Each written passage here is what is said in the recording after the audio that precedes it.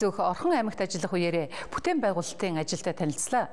Тодорхойлбол Орхон аймгийн шинжлэх ухаан технологийн парк, мөн Эрдэнэтийн дулааны цэцгэлгаан станц, уулын баяжуулах Эрдэнэт үйлдвэрт ажиллаж хувийн хөвшлийнхний бүтээн байгуулалтын ажил түүнд тулгамдж байгаа асуудлыг сонссон байна. Энэ бол Эрдэнэтийн шинжлэх ухааны технологийн парк.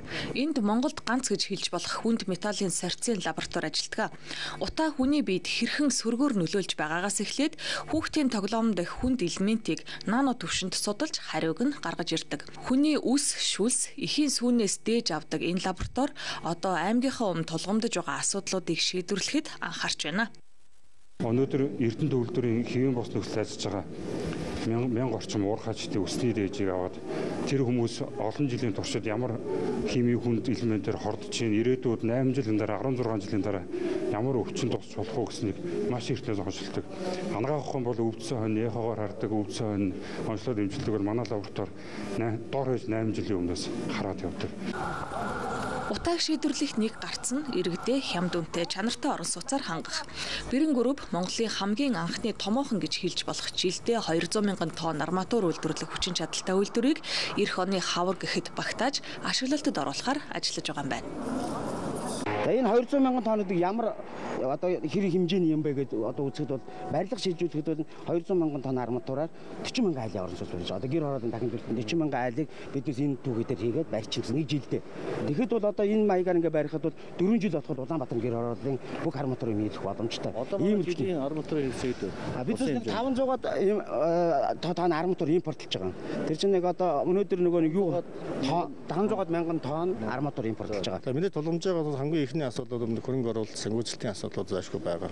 Одоо бид нар заашгүй үйлдвэр ашиглалтанд оруулах нүүд эргэлтийн хөрөнгийн асуудлууд энэ төрөнд бол тавигдж байна. Үйлдвэр эргэлтийн хөрөнгө одоо бүрэн хэмжээгээр бол үйлдвэр одоо эхлүүлэхэд оролцоо нэг 10 сая амдаа доллар бид нар тендерийн бас хэрэгтэй.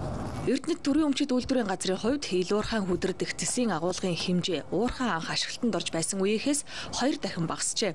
Өөрөөр хэлбэл уул геологийн нөхцөл хүндрэх төлөвтэй байна.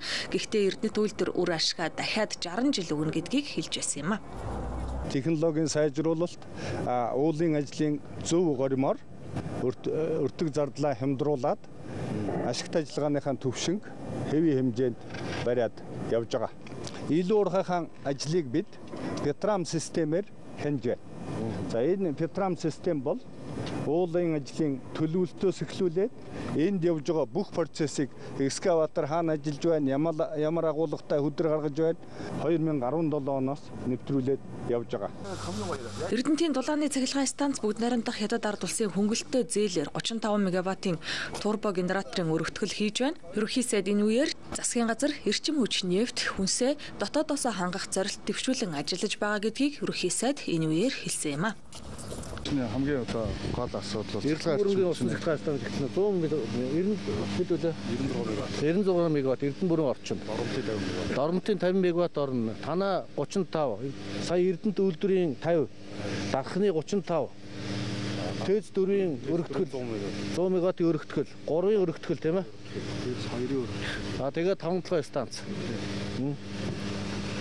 Ингээд тэгэхээр одоо улс маань эрчим хүчээр өөрсдөө хангаад гаднаас эрчим хүч авахаа байгаад эрчим хүчний үн буурнаа. Суур үн хямдарнаа. Нефтэ үйлдвэрлэлч суур үн хямдарнаа. Манай улсын нефтийн үйлдвэр 2023 онд ашиглалтанд орно гэдгийг ч хэллээ. Ойрын 10 жилдээ багтаж хүнс, нефт, цахилгаан эрчим хүчний асуудлаа дотоодосоо бүрэн шийдвэрлэхээр засгийн газар ажиллаж байгаа юм а.